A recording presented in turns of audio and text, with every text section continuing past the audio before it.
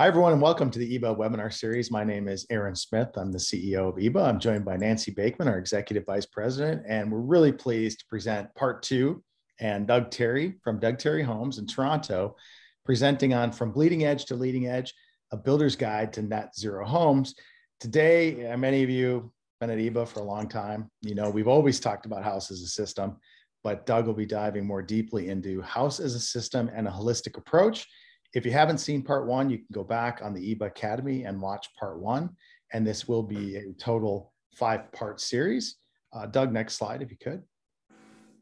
And um, I, of course, am Aaron Smith, but uh, it, it's a really exciting time at EEBA. It's a really exciting time for all of us that are high performance builders and developers. Um, we've got a community of 50,000. I don't think we've updated this a while, right, Nancy? It's probably up to about 70,000 in the community uh, builders and stakeholders, great energy raters, architects, designers, um, even a lot of homeowners and remodelers that are coming on and saying, how do we, and Doug calls it kick it, but I call it healthy homes, electrified homes, resilient homes, decarbonized homes, just because I'm an old hockey player and it's easier for me to remember. But our stakeholders are really at the forefront. I think you know, across North America, our time has come. Um, you all are truly the early adopters and the innovators and we're all driving sustainable transformation, but really no one more so than Doug. So, Doug, we're really pleased to spend this time with you today, learning from you. And like you said, from all of your great experiences over the year. And where do many of us that are, you know, 10 years behind you or five years behind you or 15 years behind you, where's the best place for us to start as we uh, go after this mission? So I'll turn it over to you. Oh, excellent, Aaron. Thanks so much. And, you know, really, part of this is about getting all boats to rise together. We just need to get a whole lot more of us being able to do this a lot faster. That's also part of why I, I decided to write the book. I'll get into that just a little bit of a second, but let's uh, let's just have a quick peek and see who's on the line here. I think you got a question set up here, uh, looking yeah. for what people's occupation is here. So are we a builder, an architect, designer? Uh, are we an energy rater, trade contractor? Are we in manufacturing and sales? Are we a, a government uh, member or are we other? So, and if you do click other, go ahead and chat to Doug and I. We'd love to hear what um, category you're in and uh, and where you're from. You know, feel free. Uh, we also have the Q and A section open. I'll be asking questions to Doug throughout the presentation, so feel free to put your questions in there. Uh, let's see. Uh, builders and architects, number one. Manufacturer sales, number two. That's great. Uh, we got one other, one energy rater, uh, a trade contractor. Welcome. So really nice mix, Doug. Excellent, excellent. Okay, we'll keep it on going here. Who who the heck am I? I probably that's why I put my names on my shirt, Aaron, so I don't forget who I am. You know. Um, so I'm the president of Doug Tarry Homes. I'm actually out of St. Thomas, Ontario. We're not from the center of the universe, otherwise known as Toronto. Uh, we were about two hours. We're halfway between Buffalo and Detroit, actually, if you string a, a line between. Uh, I am past president of Ontario Homebuilders Association. Uh, currently Ontario Homebuilders Technical Chair, although I think I'm giving that up in a couple of weeks. Uh, I'm also a member of the Canadian Homebuilders, uh, both CHBA Net Zero Council and Technical Research Councils. So I am a bit of a code geek, I'll admit it. Uh, 2019, I was inducted into the uh, Member of the Year for CHBA and into the Air Quality Hall of Fame here in Ontario. And I'm also a humanitarian mission leader. We'd like to go and do some playing elsewhere. Um, I'm a second generation builder. Our company was established in 1954. I did not name it after this myself. And in fact, I didn't name myself after myself.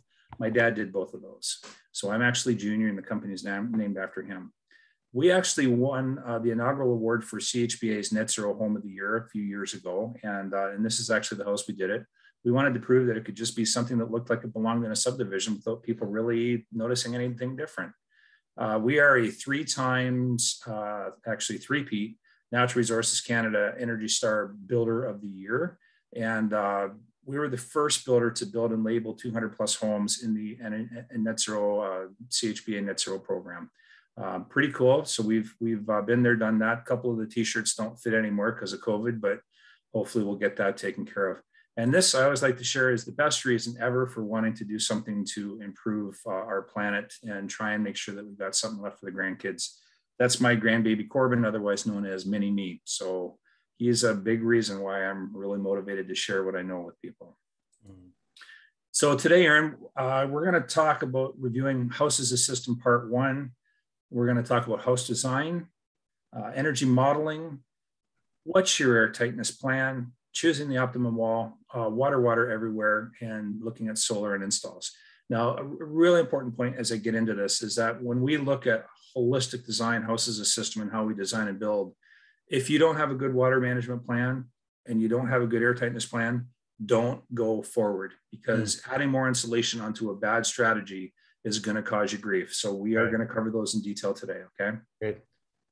So it's also it's a holistic approach to planning. Uh, we want to consider the impacts of the whole home.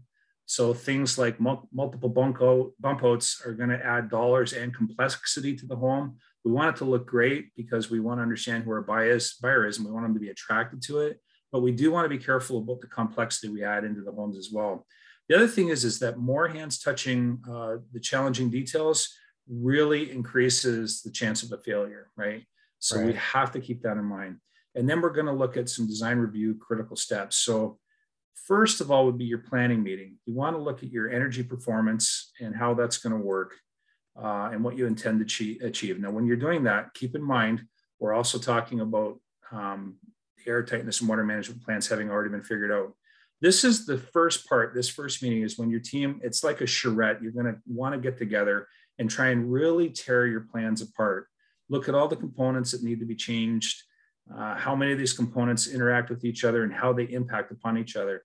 So, for example, like I said, having multiple bump outs or cantilevers or the exterior walls, uh, that's going to add cost, but it also adds complexity for air sealing, water management, and getting the insulation just right.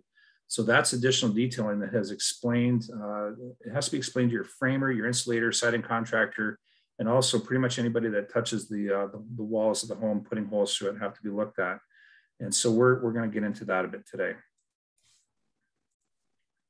So um, we already covered a little bit about uh, the four principles that I have of modern design. So when we're looking at this stuff today, that's keeping that lens on it as well. You know, are we looking at indoor air quality? Are we looking at carbon reduction? Are we looking at climate resiliency? And are we looking at occupant comfort? Now, next week's session, we're going to finish off with a bit of a deeper dive on carbon uh, and some of the work we've been doing with our modelers to see what it looks like. But there's the 11 basic critical steps that I consider for when you're looking at design aspects of the home. Uh, your house design review, your water management, your energy modeling, I'm looking at targeting for under one air change. That's that's what we've kind of set as our benchmark. Uh, and, surveying your roof and Doug, that's the that's the requirement for zero energy ready too, right? It is right. Yeah. So why would we set it higher than right. that if that's the goal, right? Yeah. And so we'll talk about some solutions that can get you there if you're struggling with it. Uh, here's one that guys I really see struggle with a lot is surveying your roof. You know, all of a sudden you're releasing a subdivision of houses and you haven't even looked at your roof yet. So we actually spin our roofs in, in eight circles of the compass to make sure worst orientation works. And we do that for every home. And then once you've got that, if you will, Aaron, in the bag, then you know you can kind of safely go forward with uh, with creating your your your lot assembly, right?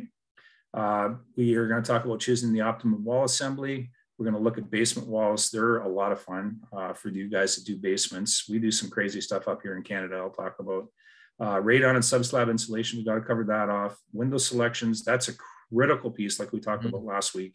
Yeah. Uh, HVAC sizing and design, we're going to do a bit of a dive into that over the next two two sessions.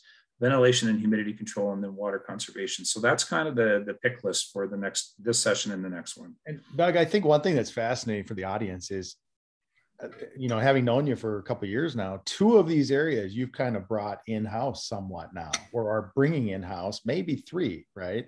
So on your HVAC and on your uh, air tightness, um, you have purchased some subcontracting capability through uh, Aero Barrier. Yeah, yeah, we're gonna supplier. we're gonna talk about AeroBarrier yeah. today too. Yeah, fantastic. Um, yeah, well, the HVAC, it's uh, and HVAC's in the next session, but just really brief. Um, we could not get sizing under control with our HVAC contractors, so we actually took the design part in house and then went and found an HVAC contractor and said, "This is what you're going to do," because everybody was screwing it up.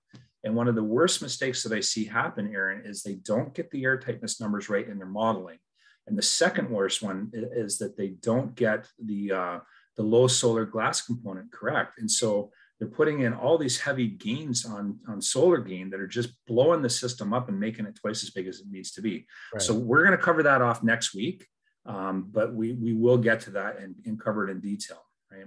Great. So I consider it to be a, a home team approach that we have to do to, to limit costly errors. You keep people in the dark and you make them into mushrooms. That's not good. and, and I think you've heard me uh, you've heard me say this more than once now, right? But you know the number one thing that happens on a job site, right? Nothing. Absolutely nothing. Yeah. Nada. So well, we, uh, we, I was we I was really intrigued when you gave that example last week, Doug. You talked about, I mean, 39 hours to build that house, yeah. right? But that you hired hours. You didn't hire a project manager per se. You hired somebody with pretty deep, like project supply chain planning expertise. I actually put a young lady in charge of the schedule that had never done a schedule before, and she was able to do it because she didn't know it didn't work. Okay, okay, great. If I'd had my construction team do it, they would have told me the thousand reasons why it didn't work. But we actually got it to work because she didn't know it couldn't happen. So she had an open mind talking to all the trades and, and everybody that were involved with it. And by the last meeting, the week before we were going to build, the framers just sat down with me and said, "We've got this. This is going to work. It's going to be awesome." And mm. and we just kicked the crap out of it. But we also had a former military guy that was in charge of staging. Okay. He actually had um, the trucks, they were what we call parading, right? Yeah. So he had trucks all paraded and he was just able to call the truck as it was needed. Now, right. next year, because if, if you're going to do something stupid, you should film it. That's a, that's a really big rule. But next year, what we're doing is we're going to have a race between us and other builders, and we're going to try and build 12 tiny homes in a weekend. Wow. That's going to be nuts. But I'll, I'll talk about that uh, in session four so yeah, lots to look forward to. Um, but what I what I really like to talk about is, and, and you know, COVID has really kicked the heck out of this. So we're we're looking at vertical integration to try and make some of this up. We're looking at uh, panelized framing for a lot of our product, but really trying to cut down on um, the, the sitting there with nothing happening. And so scheduling is important, but one of the things that hurts the schedule is when your site foreman doesn't have the answer he needs and he's got to find it and the trades are sitting there waiting for him. So that's why I think the home design review is really critically important to make sure that the site supers are engaged and understand what the outcome is you're trying to achieve. So that that's why I say like getting getting them involved in the, the house design review is kind of important. The next thing is the you know in the house design review, I like to look at uh, what's called the not so big house. Uh, so this is the case for smaller design. And, you know, so many times I see builders, especially now when things are so expensive, um, do we really need to build McMansions or can we do really good design in a smaller, tighter footprint, right? Mm-hmm. So part of this is about addressing housing affordability. Can we make it work with less space? Uh, it's also about reducing carbon footprint. If the house is half the size, guess what? You're using half the materials, right? Mm. Uh, this is also about increasing community density without it feeling like you're back on top of each other completely, right? You can right. have these smaller homes, therefore the lot still remains a decent size. And um, this isn't just about towns and mid-rise, right? Which we are we are doing mid-rise now, and, and we'll be doing towns uh, right shortly. Mm-hmm. Uh, but it's also looking at tiny homes, and as I said, the not so big house. It's a really cool architectural. Uh, Doug, are you going to talk about that sweet spot of you know is it 2200 square feet? Is it 50 square, uh, 50 foot wide lots? Is it a third of an acre? Uh, are you going to detail some of that kind of? Yeah, I can. I can definitely. Spot? Yeah, for sure. Um, okay. In fact, this home right here is a great example. This is the Waterford Cottage, and this home won everything in Canada in 2006. We built it in 2005. So it's a it's a provincial winner, a national winner, uh, you name it, right? There, it, and it really kind of changed how homes were designed and built in Canada as far as architectural goes. And so we're going to tear this home apart a little okay. bit, but it's actually 1,500 square feet. This one. Wow. So it, it looks massive, it looks but it, huge. I thought 15. I thought it was actually the McMansion done. It's not. okay. It, it, it's it's not, and that's my point about um, optical optical illusion, optical design. Mm-hmm. And so I, I do get into that. You know, things that are really cool is if you have say an eight foot ceiling it, it, it, gets really tunnel visioned as you move forward with with that eight foot ceiling throughout the house but if you have one space where you can vault part of the ceiling up so that your eye sees height at the end of it That mm-hmm. makes a huge difference as far as flow. And actually, that's actually a Frank Lloyd Wright uh, principle mm-hmm. from 100 plus years ago in his house in Buffalo, where you would walk in and, and the foyer is really claustrophobic. And then as you get, if he lets you pass, if the homeowner lets you pass the foyer, it opens up and you feel this really a feeling of immenseness of space. And it mm-hmm. wasn't because the other rooms were huge, but it's because he channeled you through a tighter space into a larger space. And so that's part of what we look at with our designs is how do we um, how do we treat the eye, right, to to make you feel a certain way within the home. So that's uh, that is part of what we do cover, right? Great. So uh, I'll bet you've heard this one. They don't build them like they used to, right? Mm-hmm. Uh, my dad built this type of home for you know 30 plus years, right? It's a simple bungalow design. This is right across the street from my office in St. Thomas, Ontario. You know, it's gable-ended roof, real simple. It's actually not bad for solar because you got the whole south side you can pick up. Um, but let's face it, homes aren't built the same way as they used to be. Uh, but this is, you know, that rectangular box beauty, 412 pitch on the gable ends, and there's no garage. Um, really simple to build, really cheap to build, right? Very simple to frame. You know, uh, this might have been at that point. Now you're looking at a truss roof, but it would just been near the start of the truss roofs. And then we do silly things like, you know, the kitchen on the back of the house there. We would do a cantilever out, and then you know they would tell the customer, well, listen, you know, in order to keep your taps from freezing in the wintertime like this, you just need to run the water a little yeah. bit in the sink in the kitchen, right? So your taps don't freeze. Right. And that, and that was considered good design back then. That's right. So boy, we've kind of improved upon that, right? Just a little. A little bit, yeah. Uh, but you know, with right orientation, it's a pretty darn good house, great for solar, and um, and they they can last a fair amount of time if you get rid of that cantilever or fix it so it works right. But this guy here, uh, Waterford Cottage, 2005 National SAM winner. SAM is uh, like the national awards for Canada, right? Mm. But today we've got better windows, air barriers, insulation, shingles, and a whole host of new products that didn't even exist 40 years ago. The downside of that is we also got way more chemicals than we used to have too. So we have to be careful about that. Uh, but overall details and materials are just simply better, right? We, we know how to build better. Uh, but I think we can still benefit from looking at history, right? Because we can't ignore history lessons. We can't we can't say, okay, well, new is better because you know now we do origami roofs, right? That's not necessarily better, right? Simple isn't always a sign of inferiority. Complexity has its challenges. And we have to make sure that our people are connected to the work that's done on site, especially the designers. So one of the things that I, I, like to talk about is, you know, when, when I was a kid, I used to play with my dad's little uh, template. You know, you could draw the toilets with it, that sort of thing. It was always fun to kind of come up with crazy designs because it didn't mean anything to me. I was just playing.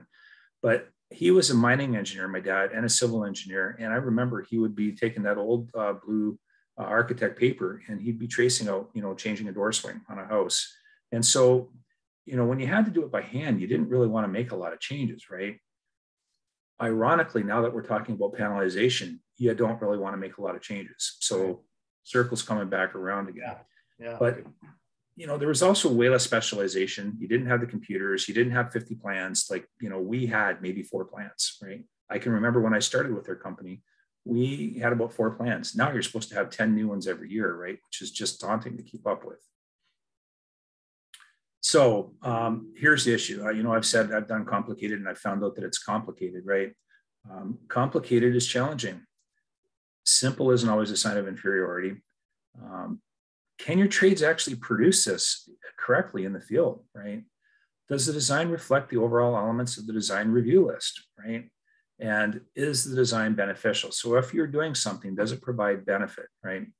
So my point being here is just because it can be designed in the computer doesn't mean it should ever hit the job site. Mm-hmm. That does not even begin to consider issues such as skilled trade shortages and the ability to produce the end product. I've been in so many homes where it's like, you know, the designer of this home probably never walked this house because you'll you'll walk in and all of a sudden you're hitting a really tight corridor and you, you know you can't get the bed turned around the side, right? There's just not room. And it's it's things like that that I get really careful of. Now that doesn't mean we got to go back to building 412 pitch houses or we should design our homes without beauty and function in mind. I think it's far from that. Uh, but in general terms, when you're considering your design concepts, Can you answer one simple question with each design consideration? Am I making the homeowner's life easier or harder?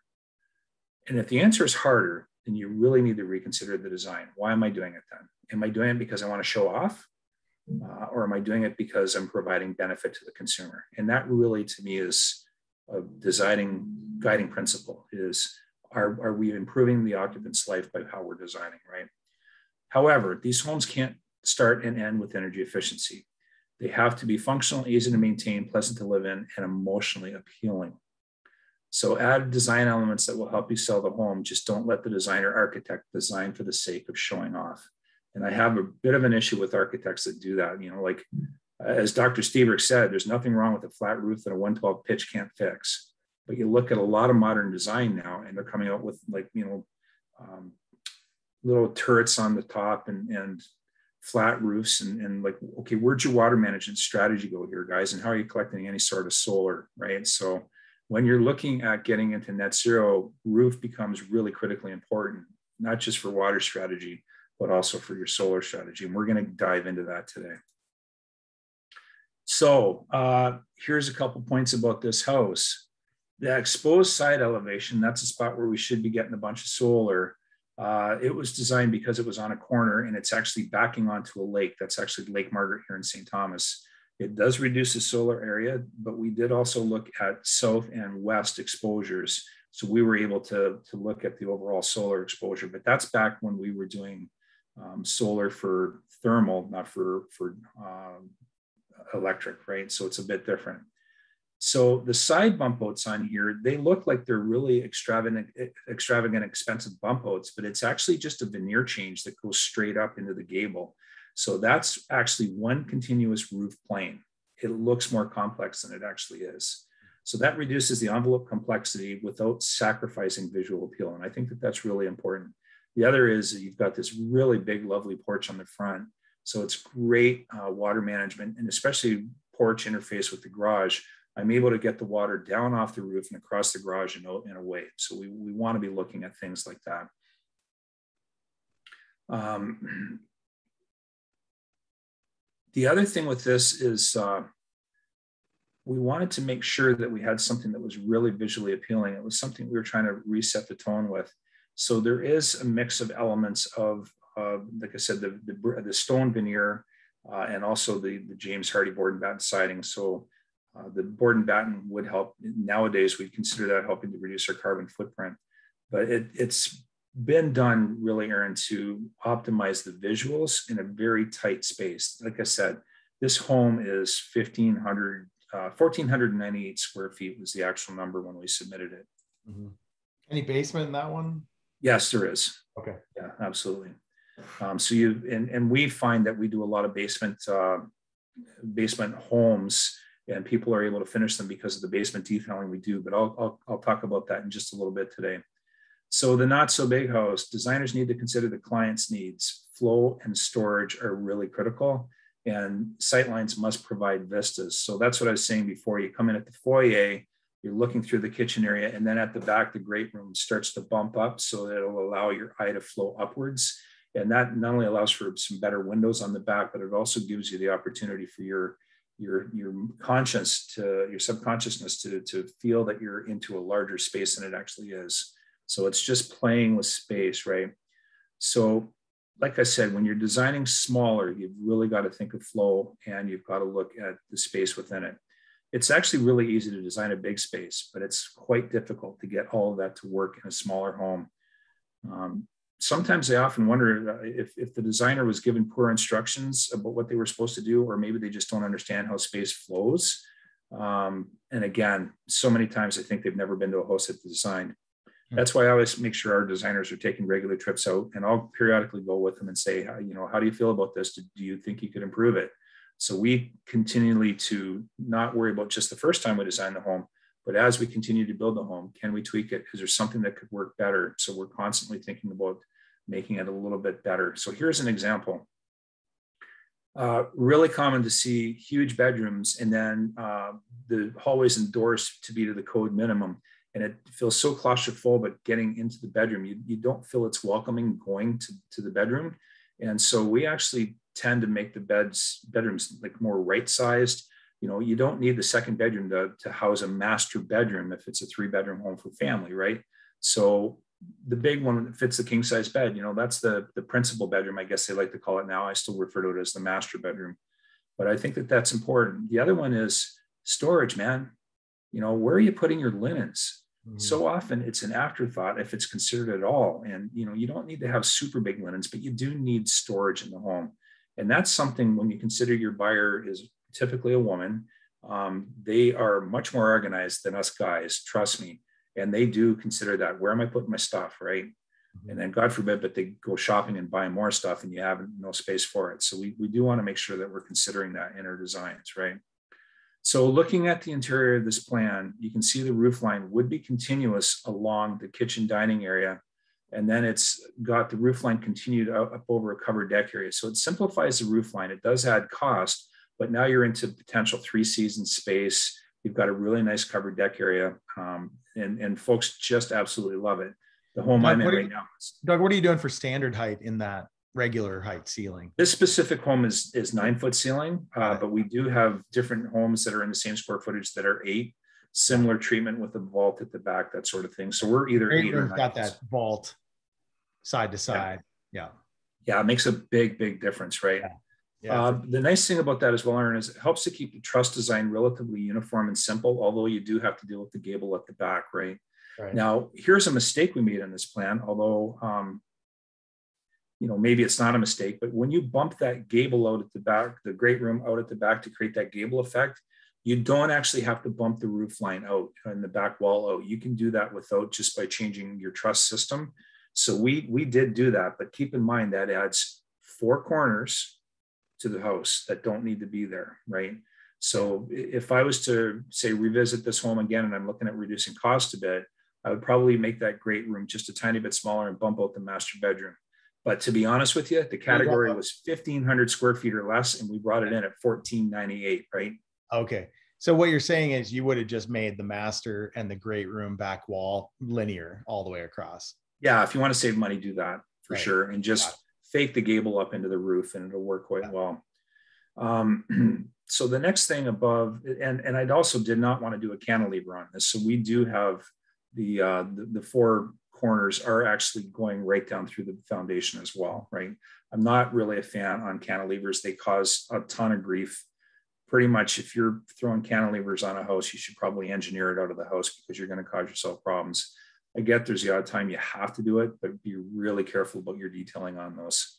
They're a, they're a huge way to cause problems in a home. I just ripped apart a house really similar to this uh, 1970s house that I showed you, and that back kitchen wall was a total mess, and it was because of the cantilever, right?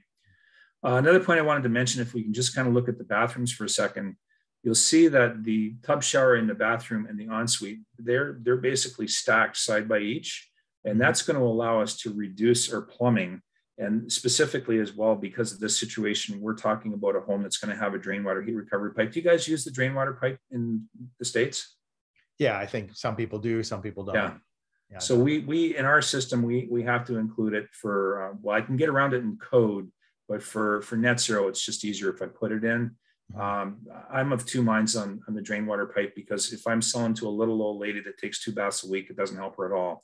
Family of four that take long showers every day, it's a great add-on, right? But it, to me, there's other things that money should be spent on before drain water pipe. But in our case, we do have to deal with it. So this one's designed for that. Mm-hmm. So you're reducing your plumbing costs by having the two showers stacked one beside each other and we're able to get a common shower drain, uh, which is actually into the multiple common common plumbing drain that the drain water um, is going down.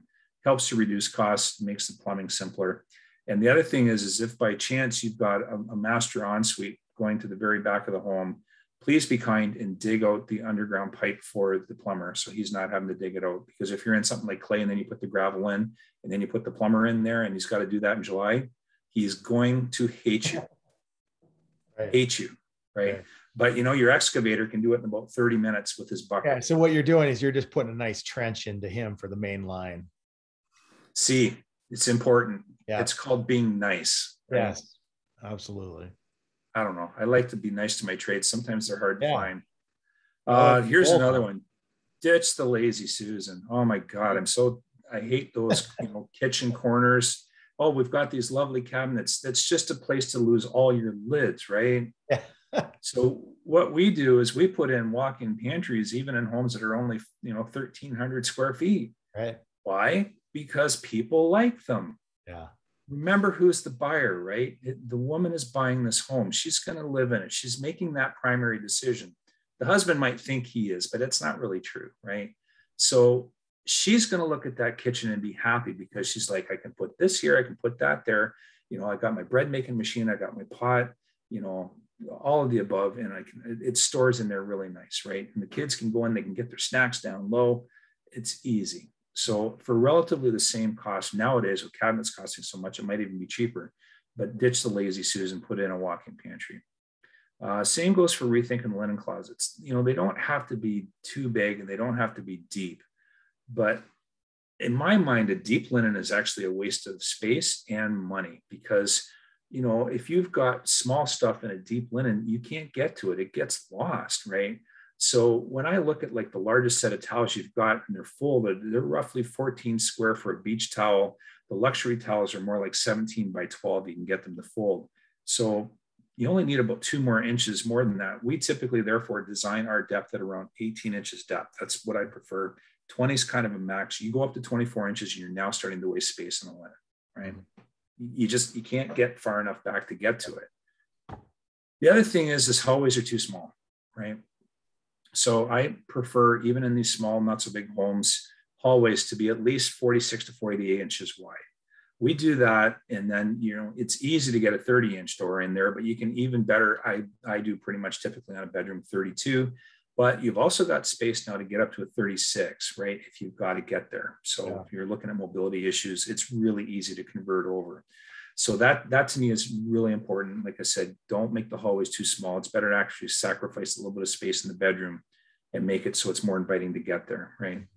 The other one is pre-design your mechanical room location. And if you can, condense the size. The worst thing is, is you let the HVAC contractor do it, and all of a sudden you've got a furnace right in where the future rec room is going to be. That will upset your client like nobody's business because when they go to finish, they're like, uh, "This doesn't work," right? Mm-hmm. So we do pre-design it, and in fact, when we're doing our HVAC designs, we pre-design it as if those rooms are all in existence and design our energy loads, or heat, heat, heating and cooling loads based on pre-existing rooms down there. So we pre-design basements, right? Um, but yeah, don't let the HVAC contractor control the location, right? Another one is, you know what I call a cold cellar? A mold factory attached to your home. Mm-hmm. Yeah. If you really want to have that extra space, then condition it, design it to be conditioned, right? The problem is, is that a cold cellar is designed to get hot or warm, if you will, and cold depending on the time of year and how hot or how cold it gets. So it's going to fluctuate in temperature and it's going to fluctuate in moisture levels. Okay. And so it's really difficult to keep clean because you do have to have vents on it and that will induce dust in there. And you know what mold needs to grow? It needs moisture, it needs warmth, and it needs dust. Okay. So summertime, you're going to get mold growth, right? Uh, but people will put stuff in there that shouldn't be there, like clothing or you know their wine in their um, cardboard boxes still, or they'll store I've seen all kinds of crazy stuff. So nobody really seems to know how to use these anymore. I mean, I remember my dad, he'd get the, the prosciutto ham from the local Italian uh, friends of his, and it would be hanging down there and it would have like a half an inch of mold growing on it. And then you'd, you'd cut the mold off, right? And then you'd have the prosciutto left over and you'd, you'd cut that and you'd eat that, right? Uh, people go crazy if you did that nowadays, right? can't, you can't do that anymore. Oh. Um, so house design action plan. So what I said before is stack the bathrooms or design a common wet wall. Be wary of main floor bathrooms at the back of the home. Think about window placement and size. That's actually also an important point as well. We want to make sure that we've got good sized windows in the right rooms. Um, I always say change at least one of the basement windows to an egress window. Mm-hmm. And then the next one is walls. Like who needs walls, man? Well, well, we do. Uh, especially I do because we do some difference with our mechanicals where we do interior wall high throw. So I, I don't do any mechanicals coming up from the floor, and I don't I don't do that crazy thing where you put your mechanicals in the attic. I, I don't understand the concept of that. Um, to me, that's just you know waiting for a, total disaster to to befall upon you. Mm-hmm. Um, but for those that do it, well, we'll cover a bit of that off later. for the exterior, limit the inclusions of bump outs and cantilevers, and then look at things like advanced framing, total value engineering, and, and waste reduction. And so total value engineering is it's a whole specific concept on, on measurements and optimizing your framing package to improve your efficiencies.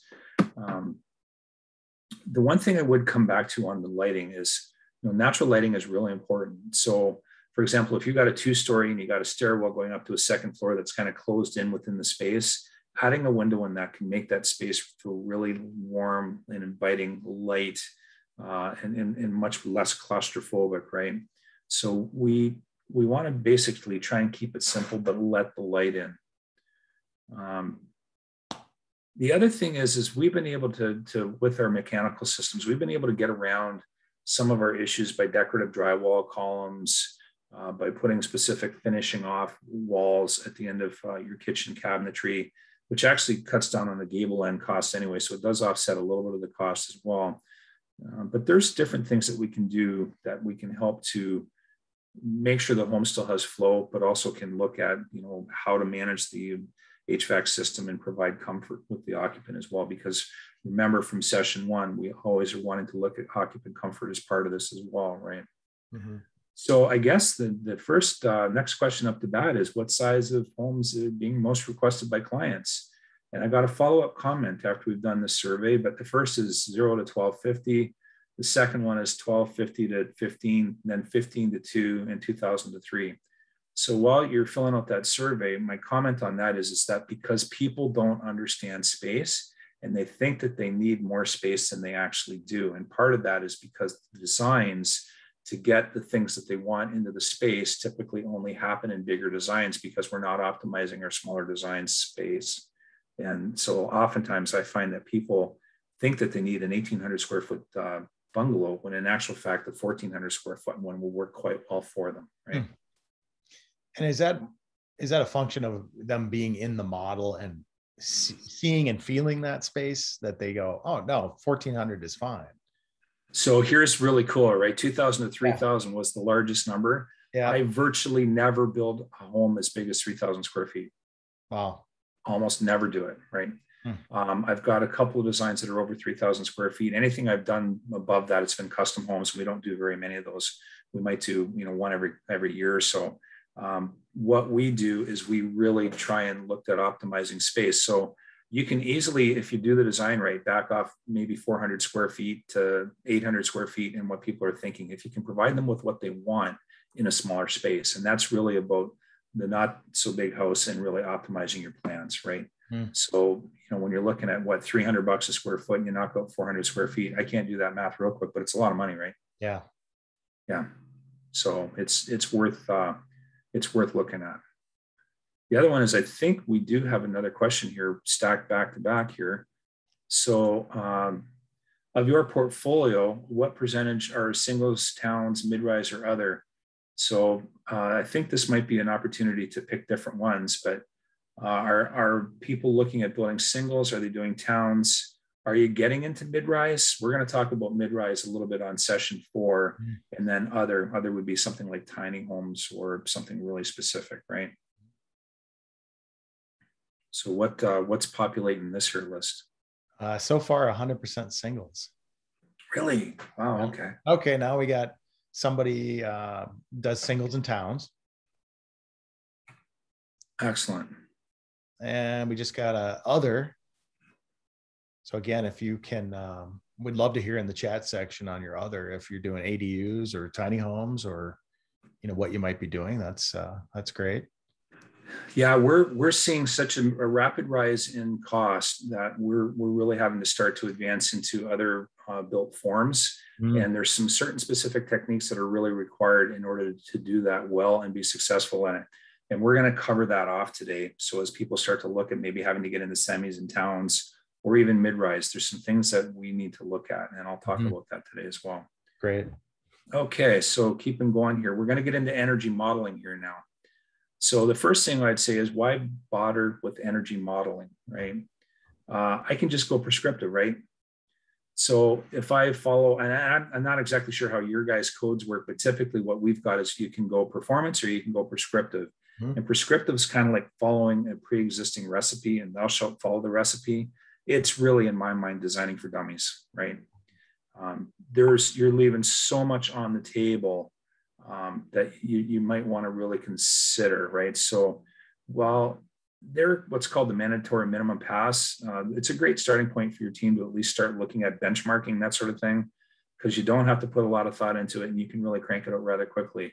But as the codes uh, become more targeted and it gets more costly, and you're competing against guys that don't know better, there's opportunity here. I'm telling you that you can really optimize your designs, save money, and mm-hmm. start to get that. Well, you know, your net zero home's 40 grand more than the code thing down under a lot better control by mm-hmm. just better design and, and techniques on how you're doing it. So part of that is is looking at the code portion of it and how can we improve on the energy modeling and I find that performance is really the best way to go. Um, you need a good e- energy uh, advisor or energy rater working with you on that. Yeah, and Doug, um, can, can we just reiterate that? Because I don't know that I've met any builder in North America that is going after net zero that doesn't have an energy advisor on on the team. It's first out of the gate, man. Right. Really yeah it, it, you just you have to do it and and that's why i said in the first session the first thing you want to do is build your team and the first guy on your team the first person you're adding is going to be a really good quality energy advisor right you just yeah. have to have that person no that doesn't mean they're in-house um, and even though i'm actually adding an energy advisor to my team in a couple of weeks that's not changing the dynamic of our work with our, our we work with building knowledge with George Cooke, Greg yeah. Cooke's company. Yeah. Um, that that relationship's going to remain but what we're finding is, is we're getting into so much work as far as trying new products and bringing things to market and what have you, because we have a fairly significant R&D budget that we run every year into our homes that we just, you know, with the size we're at now, we need somebody to run that so that we're not constantly putting pressure on the, the energy advisor. We're taking that portion of it in-house, but you just you just can't typically as a builder starting out that doesn't know what you know. Like i'm blessed. I've had a lot of years doing this we've got an idea where we need to go. Uh, for example, there's a company here in the States called Rheia that's doing some really cool work on, on HVAC, right? Mm-hmm. Um, very similar to what we're doing with Dettson. That's a company that, you know, folks in the States maybe wanted to look at. Well, if you've never done that type of work before, who's going to guide you to those decisions? Right. And that's where having your, your energy advisor is really critically important. Yeah. Uh, and just to, and just a commercial for EEBA. If you're looking for an energy rater, energy advisor out there, we have a directory of net zero energy professionals up at eeba.org. You can go in, you can find your energy rater in your local market. You can go to the RESNET site or other and check that they're currently certified. And it's a great place to find people with this type of experience. Yeah, and I, I would absolutely turn people into exactly that. Go to EEBA and find somebody and then cross-reference it. And if you need to, if you know a builder in your area that's friendly with you, that's maybe using that person, see if you can get them to talk to you about know, what their experience is, right? Mm-hmm. Uh, I know when we first started out, the, the, the first guy we had, it, he just wasn't able to keep up with, with where we were going. And, you know, I, I finally, you know, I knew Gord from doing presentations, but I finally ended up with his company after about a year because I was so frustrated and, uh, and, you know and we've pushed them hard over the years. We we do a lot of stuff. So it's been it's been a great relationship but that's what you need is it, it needs to be a partnership right? It needs to be a partnership. It doesn't work. So i'm talking a lot here aaron. I'm going to try and put the oh. gas on the pedal on the gas a little bit i think. Okay. um anyway so what's the benefit? Being able to be, begin the process with a plan really is what i'm talking about you know it's kind, time consuming and difficult to take the first steps without an energy modeling uh, in place and an energy advisor. And there's lots of potential options you've got to consider. So it makes it much easier. It's also critical that your EA look at this holistically with the house as a system, whole home approach. You do not want to have somebody that's rigid in their thinking. I will only advise you this way because there's different things you should really be considering based on what you're trying to do. Um, but also, in speaking with an industry leader building from the United States, he actually lamented that he'd asked his team to model the most effective wall that his trades would be able to build, when afterwards he realized he should have asked him to model the most effective wall system. Mm-hmm. There's a difference between a wall and a wall system, and we're going to get into that in a little bit. What's the difference? Well, he ended up with an R44 double wall. His guys could frame it and they could insulate it, but he had really crummy windows, right? So he lost almost all the benefit of that thicker wall because of bad windows. He had tremendous heat loss in the wintertime, and then he had just huge solar gains because of the sunlight coming in, especially west facing. Uh, and that forced him to oversize the HVAC system. And what we really learn as we get into more detail in HVAC design for, for net zero is you've got to control your uncontrolled heat gains, right? I know it sounds simple, but it's critically important. Yeah. So in this particular case, if this uh, this builder's team had been asked to design the best wall system, he'd have put less money into his wall and more into the windows. And that's what I advocate. We want to have better balance overall. Mm-hmm. His energy performance would have been greatly improved. The HVAC system would have been right sized, and the occupant would have had not to put blinds on the really nice view to the backyard that they now lost the view of the backyard because otherwise they couldn't sit in the room. I've been there, I've done that, I know the experience. Mm-hmm. So, energy modeling is really important. And then following through on what you're picking is also critical. So, um, my experience is it won't be perfect the first time. For example, working in the team at Building Knowledge, it took us several iterations over a number of years to get the most cost effective wall system that our collective trade and staff team could build. Part of this was stepping up to a higher energy requirements, and part was getting the collective knowledge to build the systems effectively, the wall systems I'm talking about. So when we first went to net zero, uh, our, our walls were, our system was a two by six wall with two inches of rigid foam on the outside. Um, the framing wasn't really that much more difficult than doing say an R5 or one inch of rigid insulation. The problem is, is that when you go that up extra inch of insulation, because we typically have brick on our homes here, our mm-hmm. foundation wall went from a nine inch to a 10 inch foundation wall, right? Yeah. So now you've you've increased your your total carbon footprint of your foundation, which is the most worst part of carbon in the house, yeah. by another you know 12 plus percent, right? Mm. Um, reviewing this uh, with building knowledge, we were able to get it down to an inch and a half of rigid insulation on the wall. And uh, that was well more than $2,000 in savings at that time it got us back to the in the uh, nine inch foundation wall, which was really critical to us because it was just a lot easier uh, to build and less cost. So quickly looking at this, this is something that some energy advisors provide. They should all be able to get you in sort of the ballpark where you're looking at a baseline versus code, uh, what your inter- incremental cost is going to be. Hopefully, they'll be able to give you a rough idea on that. Although you're your evaluators, your, your uh, folks doing your costing should be able to look at that in more detail. And then what um, a modified version moving to a more advanced uh, code or net zero would look like. So it's pretty easy to, to dive into these numbers. For example, adding the uh, adding the incremental cost on the solar for that one house was around 38,000, what this energy advisor was advising. We've got our number down quite a bit less. This was a fairly big home that this energy advisor was looking at. And Doug, that's in that's in Canadian dollars too, right? Yeah, so it's hardly anything for you guys, but for us, that's, that's, a lot of money. Yeah, yeah. Um, but we're we're down now, typically around maybe twenty four to twenty six thousand. So this this was actually quite a big house that he looked at. Yeah. Um, the table also should start looking at what's called a, a gigajoule. Do you guys use gigajoules down there? Sure, I think that's universal. Beautiful. That makes it a lot easier to talk about. So it should indicate the gigajoules and the potential gigajoule savings for the items that's being considered. So you're able to cross-reference and say, okay, well, if I put this in, it costs this much, but I'm saving this many gigajoules. Because if you're fully going for net zero, you're looking at as few a number of gigajoules as possible because you've only got so much roof, right? Mm-hmm. So it's important that we start to get our gigajoule number down so we've got space on the roof to cover it off. Um, in this case, if all the items shown were used, it reduces the consumption, consumption sorry, by about 49 gigajoules or about 41% for an additional cost of around 11,500 bucks. So that to me is actually a fairly reasonable trade because um, that amount of gigajoule reduction, like I said, this is a really fairly big house. Um, that that's a good trade. I would take that any day because the solar is going to cost you that much or more, right? And on your attic, Doug, you were looking at was it R51 versus R70? Is that what was that the trade off? Um, in this particular case, yeah, it, I believe it was. Um, we've landed. Uh, our sweet spot is actually at R60 in the attic. Uh, okay. A slightly raised hill height. Um, you, are starting to get into diminishing returns on um, additional insulation in the attic when you go above R60 And quite honestly, Aaron, I think it's better off that you put more focus on getting your air tightness down. Under one air change is a big deal. Yeah. Keep going here. Next is what's your air tightness plan? Because you need one, right? So this is where your energy advisors got to be able to help you with this, right?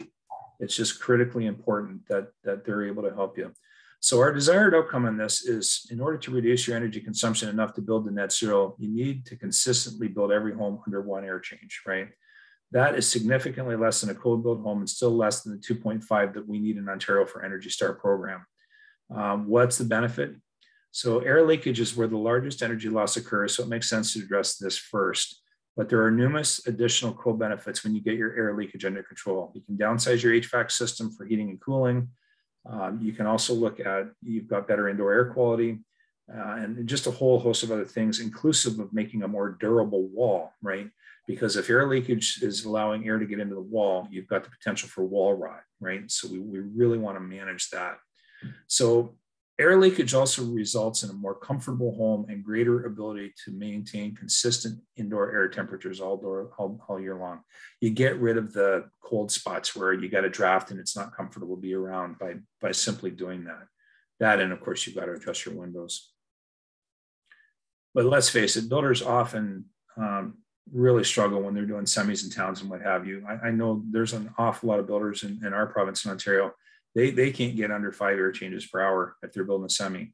And most of the leakage is actually happening between units. And I remember this story um, from years ago where I was talking to the building official, and they weren't allowing me to do this detail that I'm about to show you that we created um, working with building knowledge and also with, with uh, Rockwool.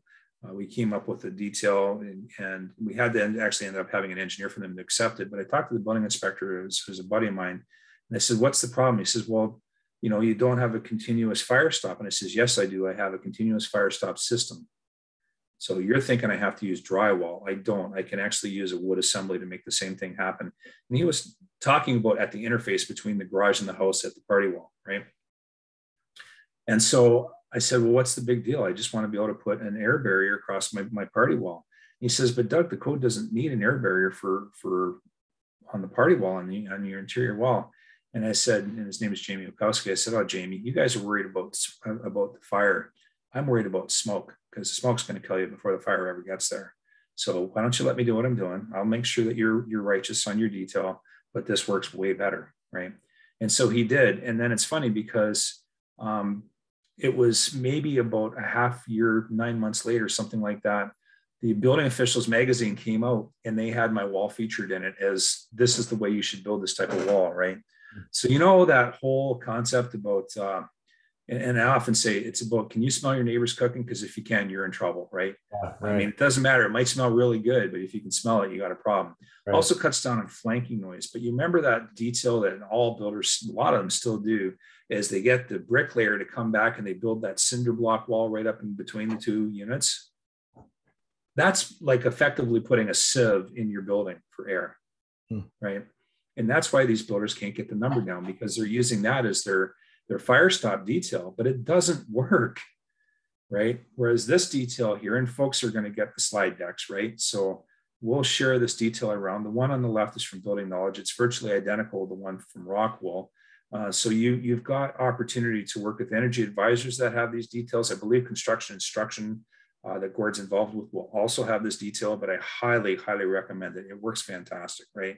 Um, but why we want this is because we want to be able to do our fire stop for sure, but then we want to be able to stop sound, noise, smell, everything from transferring between the, the two units, right? And it's actually, once you understand it, it improves your sequencing, Aaron. So why wouldn't you do it? You don't have to wait for the brickie to come back. Your framers do this. Right.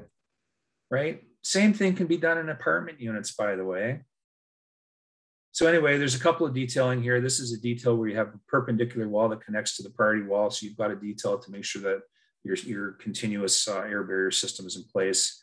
And that it's important to note that we do need to connect the air barriers. So whether you use acoustical sealant or other measures like tape to, to pull it together, it's important to get that. You can relatively achieve it through um,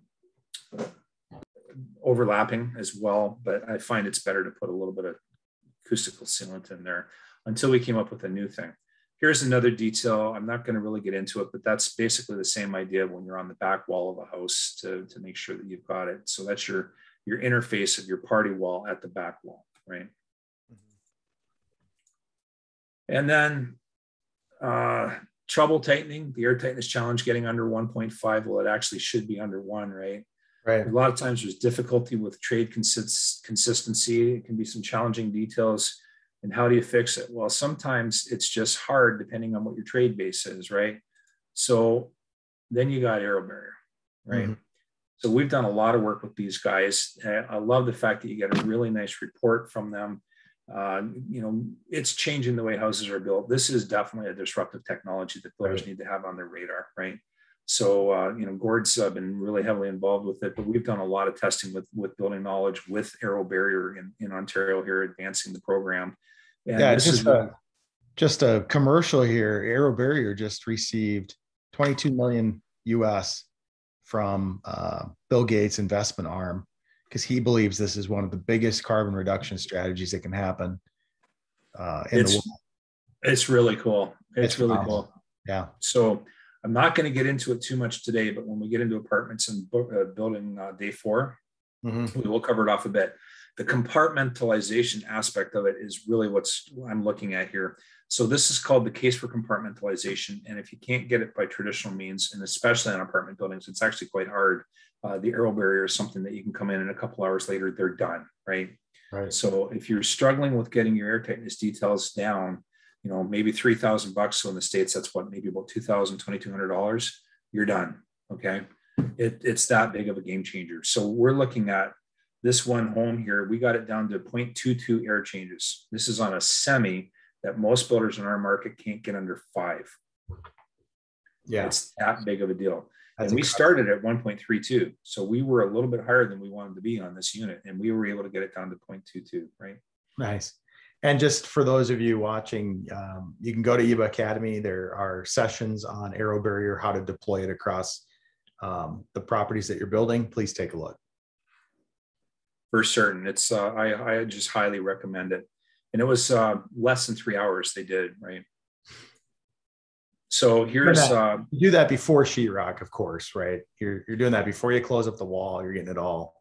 Well no we uh, we've we've experimented we've actually done it uh, before we put insulation into the into the stud cavity as well.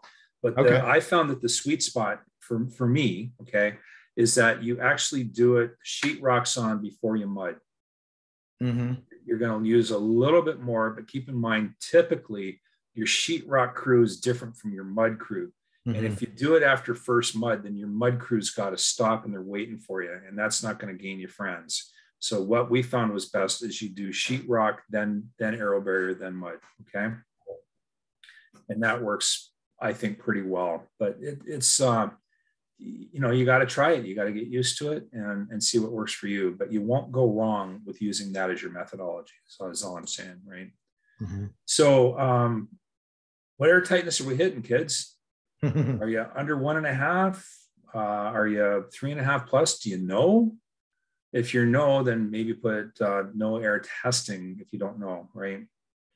But curious to see and actually it should be under that should have been under one air change so if if we uh, hopefully we're seeing a whole lot of people under one and a half because um, if not then then you need to work with your energy advisor on your details. And there's certain details that i'm going to cover off right shortly here on water that are in my mind non-negotiable as well that need to be dealt with that actually help with the overall wall system air tightness. What are, what are we getting aaron? Uh, looks like a lot of people under 3.5 but the majority uh, under 1.5 detached and less than 1.5 on attached. Yeah. So that seems to be no one clicked 3.5 plus. So that's good. Yeah. Well, no, we got one yeah, on. No, actually, you got you got one. I know. Yeah, we got one 3.5 on detached. Yeah. Okay. So it's a range, right? Yeah. Like I'm saying, if you want to make it simple, then it's talk to the air barrier, barrier guys and, and, get there. Okay, so now full disclosure, um, we have started our own HVAC company. It's called Abode Home Comfort, and uh, we're just getting that up and operational. But we're we're taking the territory of uh, London St. Thomas uh, um, market uh, with the AeroBarrier later this fall um, because we just believe in the system so much. And with the amount of apartment units we've got coming up, it just makes sense for us to bring that in house. Nice. Okay, I'm going to uh, move forward here. Oh, can we close it? Okay, we can. So the optimal wall, we should probably talk about what a wall should look like, I guess. Um, choosing the optimal wall, uh, it might take you a few tries. Don't expect to get it perfect. Um, be careful in your market if you do need two inches of rigid insulation and you're using brick, you're going to be probably into a larger foundation unless you go to an ICF foundation that accounts for that, or um, you know you go to a thinner brick veneer, right? Alternatively, will your market accept siding? Okay, but remember, continuous insulation is really critically important. It's not just about reducing thermal bridges. It's uh, it, it's just got to be part of your whole wall package, right? It does come with a concern about you put a lot of insulation on the outside. Uh, water management and air sealing becomes critically important. Um, and, and it just it's a multiplier effect as soon as you go to a rigid continuous insulation that's basically acting as a vapor barrier. And the concern is is that if you put uh, a vapor barrier on the outside, and then here in Canada we got to do a vapor barrier on the inside unless we can prove to them we don't you get basically the poop sandwich if you get water in there, right? So we're doing a lot of work now with with AeroBarrier being our air barrier on the inside, and we're eliminating the poly on the interior wall, uh, interior side of the wall, because we've got an inch and a half of foam. And in our climate, uh, that deals with our dew point issue, right? So in my mind, building a very tight home is not just about reducing energy consumption. It's also about building a more durable, longer lasting home you know, if we're talking about reducing our carbon footprint, we end up after 15 years ripping the house apart and it's half of it's going to landfill. We didn't do our job, right? So durability is really critical to success. And that means you got to train your site supers, your back framers, and any trade that cuts a hole in that wall has got to deal with it. Um, they just need to own the hole, right? So um, I don't know, you guys use nominal versus effective R value. Nominal is what's printed on the bag of insulation. Effective is actually looking at the wall assembly, right?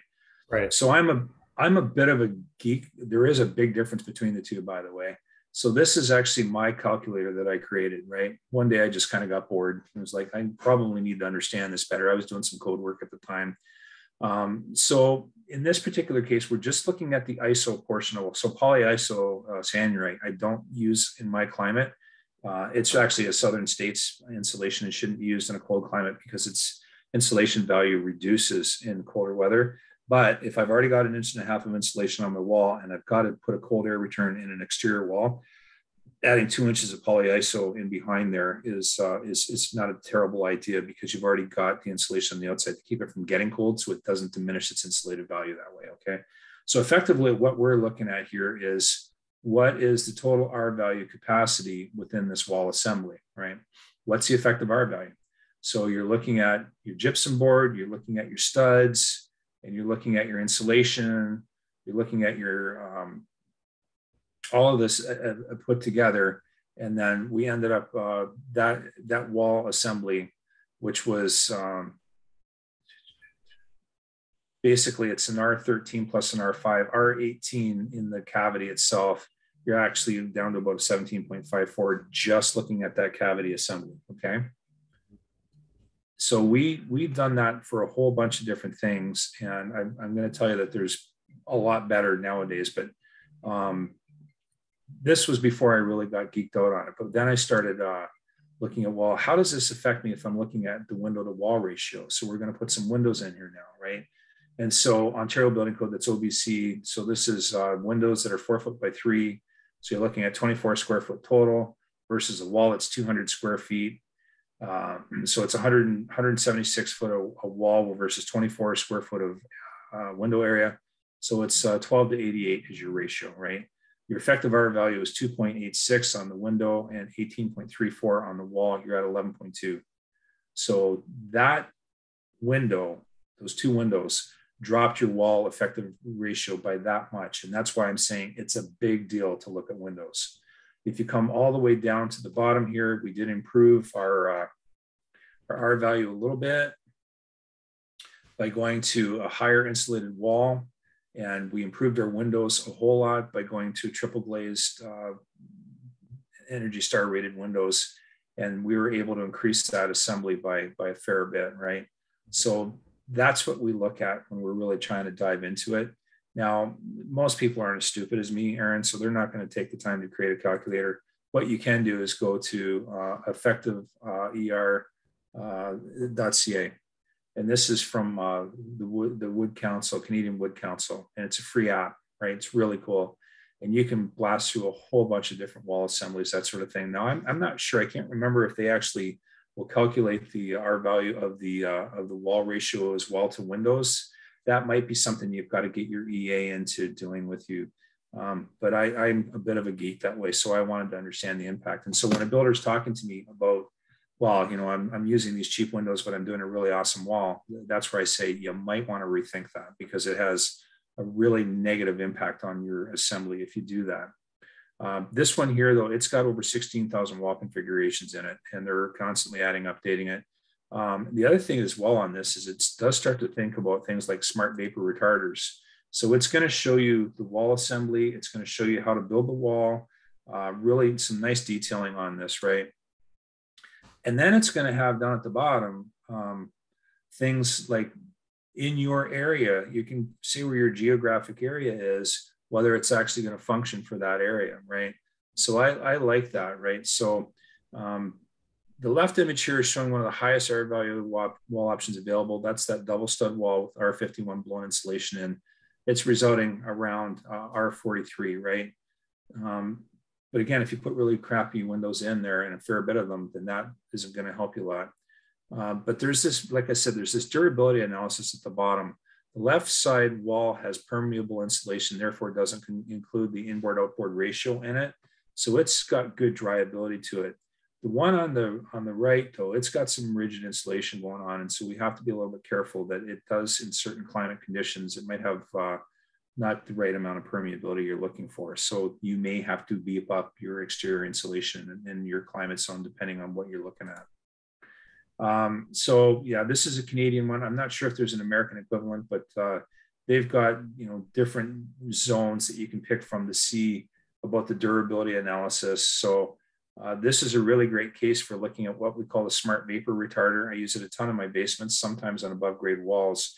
But uh, the smart vapor retarder, effectively what it's going to do is in, in the wintertime, it's going to close up like a vapor uh, membrane and it's not going to allow any moisture to migrate from the warm air out um, into the wall. But in the summertime, it opens up like Gore-Tex and it allows vapor to migrate through the wall and gives you dryability, a dryability path inside. Um, so we we do look at that sort of thing. It's kind of helpful to understand that quite well, right? It's a great piece of the calculator. And then just a little plug for these guys. They put a lot of work into this. This is where you can go to find it. And if you can get your relative uh, your relative humidity and, and, temperature locations in your area, you can then compare it into you know the Canadian climate, right? Mm-hmm. The next one is water. Water everywhere. We have to deal with water, and we don't do a good enough job on it. So, what is your water management plan? Um, like I said, you get the poop sandwich if you don't care for it, right, Aaron? Right. Mm-hmm. So, we do want to make sure that we're dealing with the water, right? And just like changing the old grandbaby's diaper, there, you know, fixing a, a, a screwed up wall is not a job you really want to take on, but it's kind of mean to leave it to somebody else. So maybe we should just design it to not happen in the first place. Now, Dr. Joe Lstiburek, he's one of the leaders in this in, in, in the world and so I, I, I, love this little quick reference from, from Dr. Joe. And uh, rain is the single most important factor to control in order to construct a durable building, he says. And I've been to his seminars and he's talked about, you know, how you end up with spalling a brick and everything like that if you don't properly get the water away from the building, off the brick, that sort of thing. So his fundamentals for rainwater control are drain the site, slope the grade away from the building, then drain the ground. That's foundation perimeter drain then drain the building, which is your roof system. Overhangs are actually really important. All those, um, you know, um, parapet walls that folks really love, you got to make sure you're getting the water past and around it. If you're putting in a parapet wall, it can really cause you a lot of grief. And then drain the assembly. That's your drainage plane or your weather resistant barrier.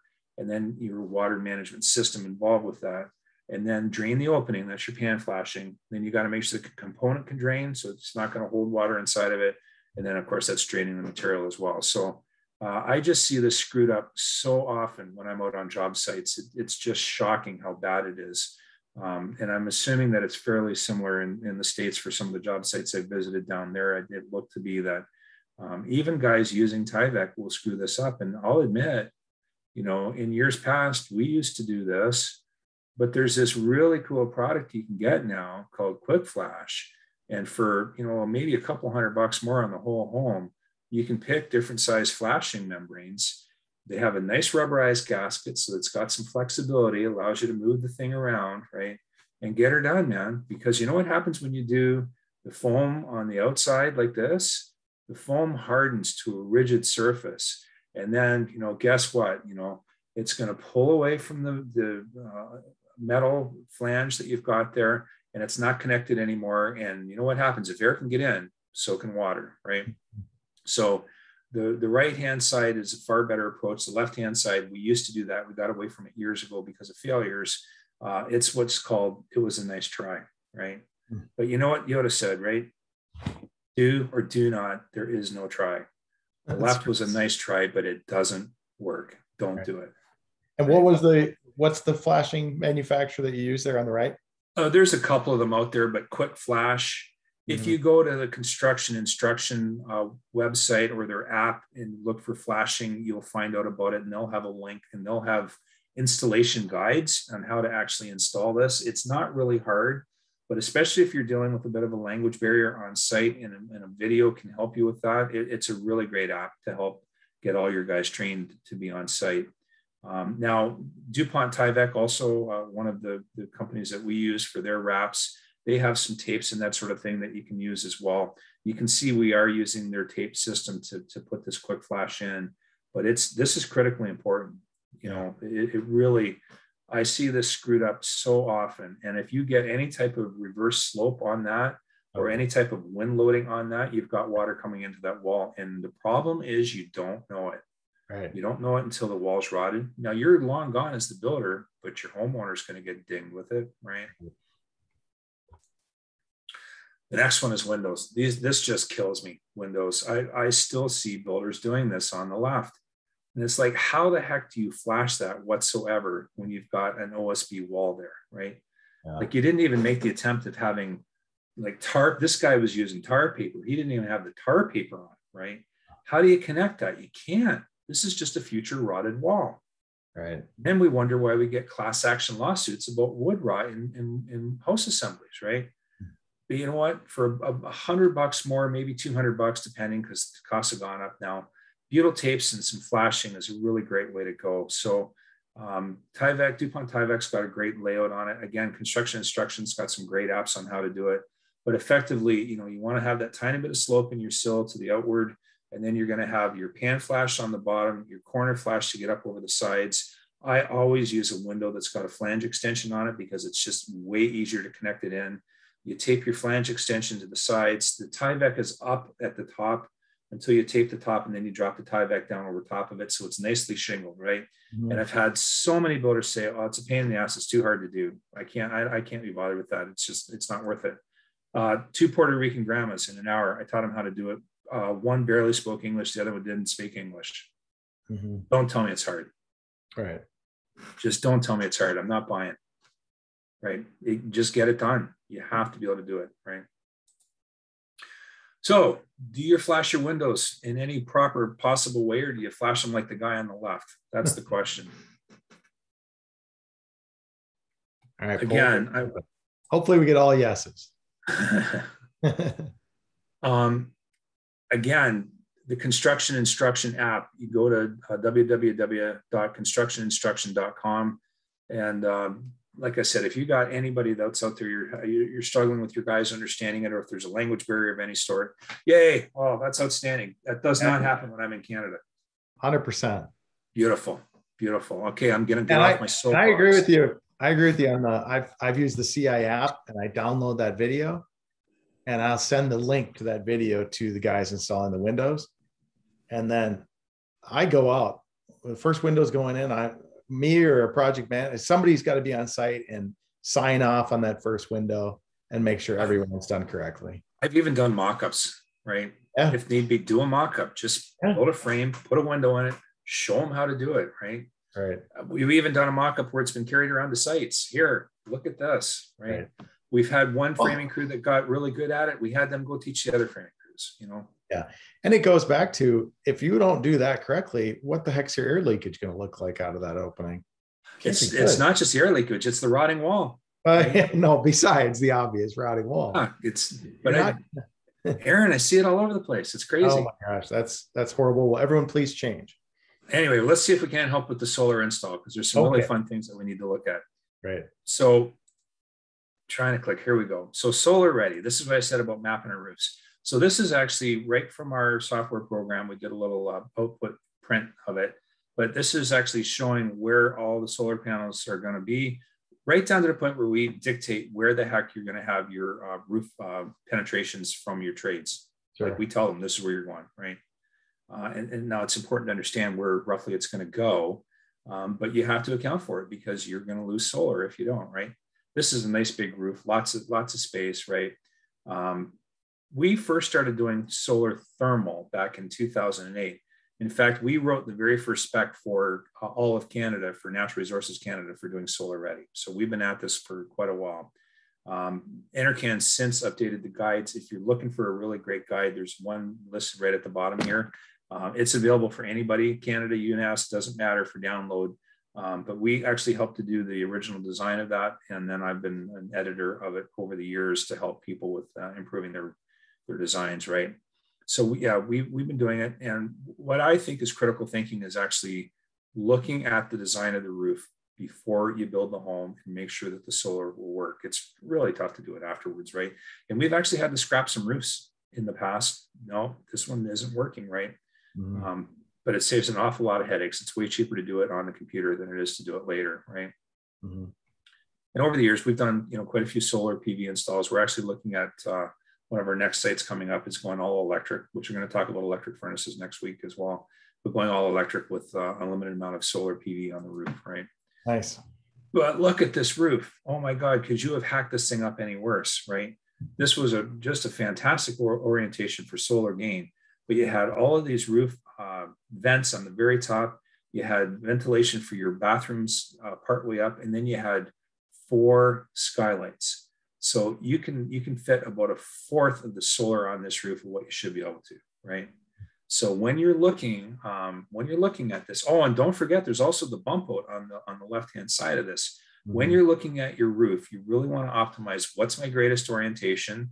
Can I get the solar on it? So actually pre-designing the solar into it and avoid stuff like this. Yeah, those those uh, sun uh, dormers, they're nice, right? The solar skylights they're, except for that they leak and they're really not usually as good a quality. They're improving, but um, they tend to cause grief and they take up space. And that roof space is valuable.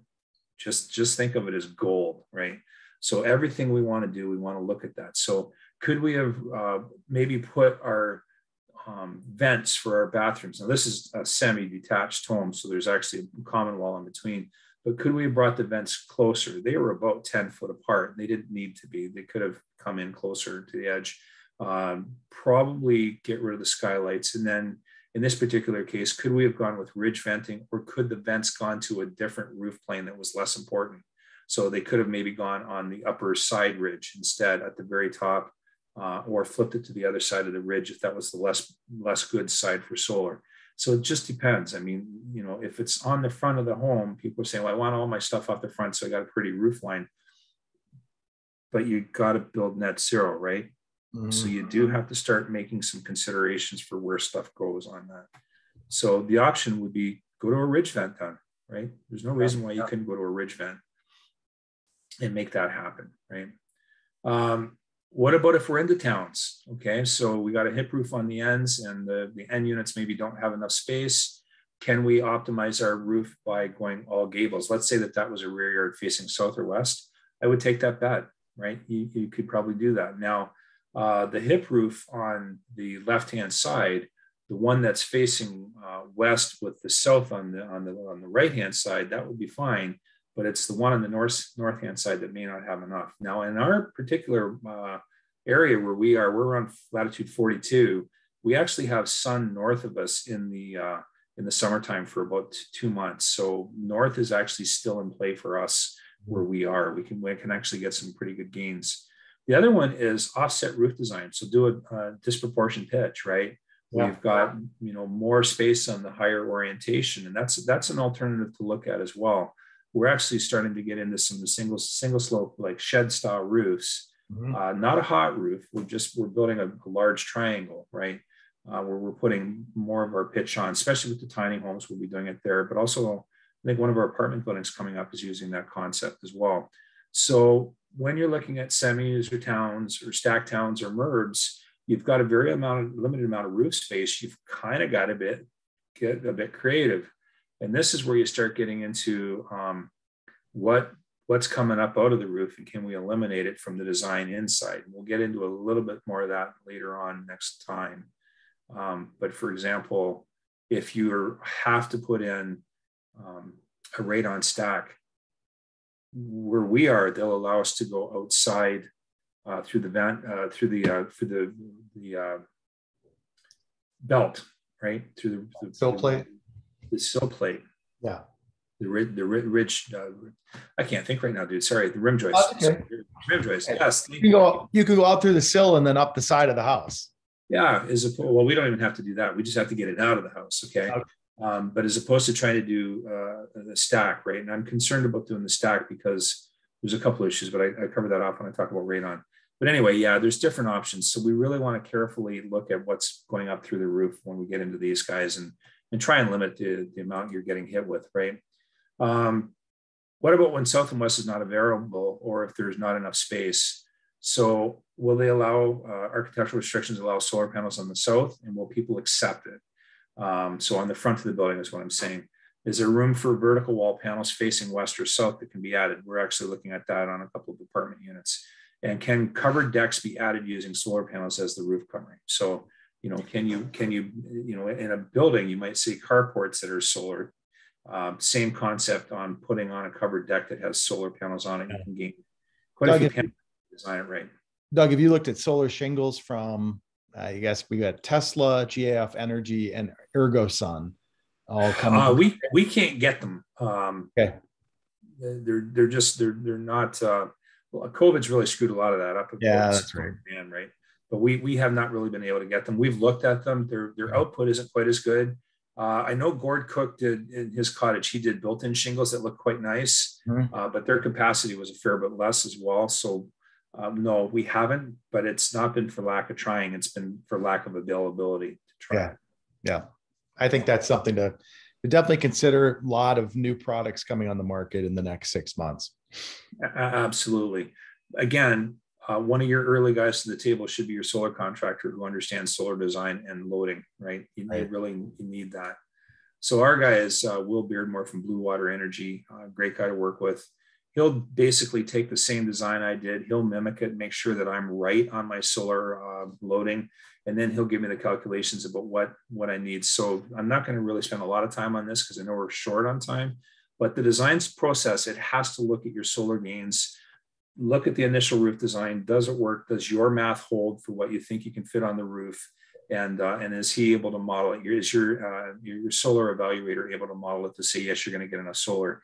It is important for your energy advisor, by the way, to have told you what your gains are, what your loads are on the house for heating and cooling and occupant, right? right. Your, solar designer needs to know that to say, okay, well, if I need 40 gigajoules, can I hit 40 gigajoules? So you need to know, is it 40 or is it 32 or is it 50? That's an important number to know. That's why I say we start with that. And then way simpler and cost effective to correct the roof during the design stage than once you started building it, right? Uh, here's the design phase. This is some of the connecting points that we have to look at. I'm not going to get into it. Uh, but a key consideration as well on this is, and a lot of guys miss this, is to allow extra loading on the roof. Uh, the roof. So when we're looking at our truss design, we, we dump an extra five pounds of, of uh, roof load uh, per square foot onto the top quarter of the truss. And we do it around the roof, so we don't really care about orientation. The truss is just designed that way. Um, but a lot of guys miss that. And it's an important point because you are adding load to the roof. Depending on your engineer uh, and your municipality, they may not let you scab directly into the top of the, the chord. It may require that you put a scab on the side and load into the scab with your connectors. And the reason for that is, is because if you if you actually run the modeling on the truss, you can blow up the truss loading to a point where it fails by simply screwing into the top part of the truss, depending on what you've designed into it. So that's why the extra loading is important, right? And then you've got to look at penetration. So this is on the side of one of our homes from a few years ago. And, and what we want to do is we want to make sure that we've put in sleeves. Remember how I was doing that really nice water management detail? Yeah. Well, your your your solar guy, he's going to need a couple sleeves here. So it's nice if you actually roughen the sleeves and cap them. Even on, on the net zero ready, solar ready part of it, um, it just makes it a whole lot easier. And that also means that in the house, you want to have a direct conduit line from your mechanical room up to the attic so that your guy can get up there and work. And that right. means that you can't be mean, Aaron. You can't put the, the solar conduit right out at the outside edge of the roof and the guy can't get in there except for crawling on his belly. Right. That's not nice. You're in insulation, right? So it's got to be far enough inside of the roof that he's actually able to, to at least yeah. approach to get yeah. at, right? Well, I think it's good advice there. What you said is that really the best practice is all penetration should be made before you're putting the brick on. Everybody's got to get their penetrations in and you got to own the hole, right? Own the hole. Just cap the darn thing, but at least it's there. Yeah. Now, if you are going full solar, then there's the potential that you don't have to run the conduit. I kind of still like the conduit. It's a metal conduit, right? I kind of still like the conduit so that you don't have anybody that's, you know, screwing a um, oversized screw in for hanging a a, a, a picture on the wall and you run it right into your because that would be bad, eh? Yeah. You don't you don't want to hit right into a live electrical wire. So I still am a, believer that even if you know you're running a thing, it's better to have the conduit in place. That would be my safety advice, if you will. Uh, and then you've got to have room for your inverter because, you know, depending on where you go, they can be inside or outside, but we do have to look at that and it's got to be commissioned as well. So um, we provide monitoring software that enables the occupant to be aware of their energy usage. I think that that's a really critical piece. Uh, it's also important for customers to understand some important points such as emergency shutdown, how their utility building will work and how and who to call in the event of an issue. So we want to make sure that they've got a fairly simple to follow package in that case when they're doing full solar uh, for the net zero. And then uh, the monitoring, we want to know where the energy is being used. And so they can have a, a dashboard monitor for following this. So um, pretty cool that you can have this. It's important to ensure we have a conduit to attic, like I said, as well as uh, the location of the conduit, but we also want to make sure we're providing uh, that dashboard monitor system available to the client. Typically, it's going to be uh, Wi-Fi based, and they can just go on there and download the app and follow along. And you find that they'll actually use less energy if they if they do that. Doug, are you upgrading your service panels just as a matter of course because of the zero energy or net zero house? Yeah, we pretty much had to go to 200 amp. Um, yeah. But we're also we put in a rough in into our garage for electric vehicle charging. Nice. Um, so it's it's already predetermined that you can put both of those in. So we had to pretty much go to 200 amp. Not very often we'd had to see us going higher than that. And we haven't really got into a lot of the smart panels yet, although we are investigating that. And I think yeah. that that's something down the road that you know because you're not using all the energy all the time. A lot of this is actually overkill when you actually look at the energy loads. So uh, smart panels are definitely the wave of the future, and we yeah. are looking at that in our apartment buildings right now. I think we we saw some presentations uh, the past couple months from Schneider Electric on a new smart panel that they have, and the Wiser Energy System, and that monitors everything in the house. And it, it's it's an area to keep an eye on. smart panels are coming; they're here. Yeah, uh, check it out. We've we've been doing it. We're just uh, we haven't moved to smart panels, but we do the energy modeling. We've been doing it for for a couple of years now, quite quite a few years actually. Um, but if the ultimate goal is selling net zero, and this is where I think you guys in the states do a way better job than we do of really drilling down on the total cost of ownership. And uh, and Gene Myers is great at this, by the way, him and his company. Um, but we don't really have the benefit of green mortgages that help our, our clients along. So when you're looking at the, the whole net zero equation and there's those extra solar panels and trying to convince people that this is the right way to go, I get back to that argument I talked about last week. Well, if it's so good, then how come it's not included? Right. And so where we, I think, as an industry, especially in Canada, is we need to do a better job of sharing the conversation about the dollars and where it's going and how it's cost effective to include it. So um, there might be incentive programs in your area. Um, I really don't know for sure in the states what all is available. That's where your energy raters got to earn their dollars, right? They need to be able to help you with that. Um, but I am concerned that in Canada we need to do a better job of. Uh, and I'm not a huge fan of incentivizing, but I, I, do think it's important, guys. If you're if you're wanting to, I'll tell you what's going to incentivize the fact that gas is going to jump like crazy. Have you heard the pricing happening with gas right now? Natural gas, I mean. Yeah, it's uh, it's up an insane and, amount. And it already happened with propane, right? But now it's happening with natural gas. Yeah, because there's not enough. Believe it or not, there's not enough supply, and there's too much demand because all these countries are switching to LNG uh, to offset their their coal, right? So the end consumer house user, it's going to just skyrocket over the next couple of years. So I, I think my equation in Canada is not going to matter, and it'll be the same for the states. That gas is just going to get really expensive, and we're going to have to really limit our use of it, right? And I don't want to be a doom and gloom guy, but it's something we've got to consider, right? Mm. So I guess we're into our final question. Uh, are your clients asking for PV solar panels? And then the second one is what's the biggest challenge you're facing uh, when trying to sell PV panels? The price and budget, uh, homeowner lack of knowledge, homeowner fear of new technology, like is it going to catch on fire? I hear that one. Homeowners skeptical about the PV benefits. We really have a tough time with that in Canada because of the math. Uh, builder lack of effective selling marketing tools.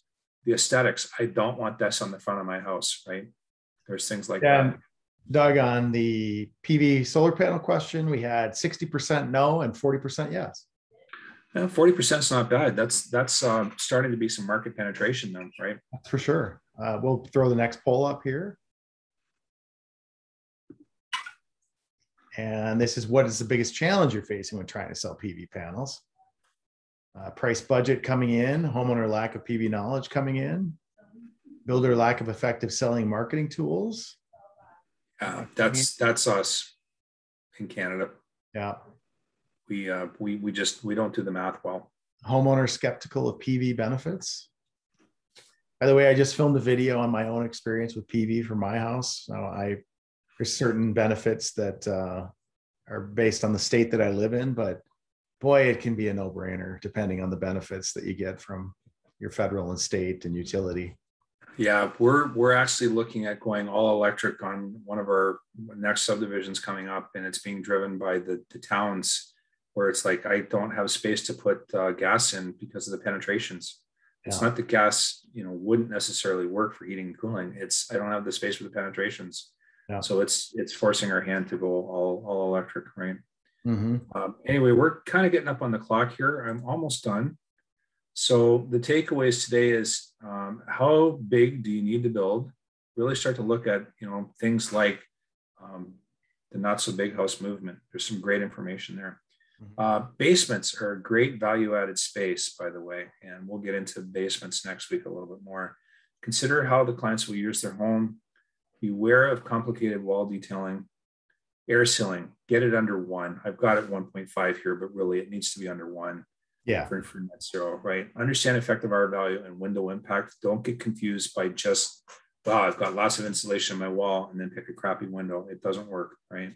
And yeah. then plan your solar design early, minimally before permit uh, is even started, right? Yeah. And the, and the other two I would maybe add just from from talking to you is um, get an energy advisor, energy rater on your team. Right do off the bat. Do it now. And yeah. and the other no-brainer is you can in Canada and the United States, you can sign up for the Zero Energy Ready Home Program. And that is such a great guide. There's some great marketing tools there. There's some great tools for how to sell solar to your clients. So whether you're uh, NAHB or CHAB or CHBA, you, you can join those programs. It doesn't cost anything, I don't think, in Canada either, does it, Doug? I don't think so, no. No. So those are great programs to be a part of. Absolutely. And then, of course, I must say thank you to EEBA for uh, allowing me to present this today. Really appreciate it. And thanks well, to everybody for attending. Yeah, and we obviously huge thanks to you, Doug, and and sharing your knowledge and your expertise. And I think you know so much value in uh, in each of these sessions. I'm I'm taking notes furiously here on my end. So hopefully everybody. Well, we're supposed to share the slide deck so people can actually get a copy oh, of it too. So yeah, we, we, yeah. That's Aaron, good. thanks for hanging out with me. I think we're oh, over time. I apologize. I talked a lot today, but you were asking some great questions, and so I was, I was having a blast, man. Sorry. Yeah. Well, fantastic. We'll look forward to seeing everyone in the next session. Outstanding. Very cool, dude.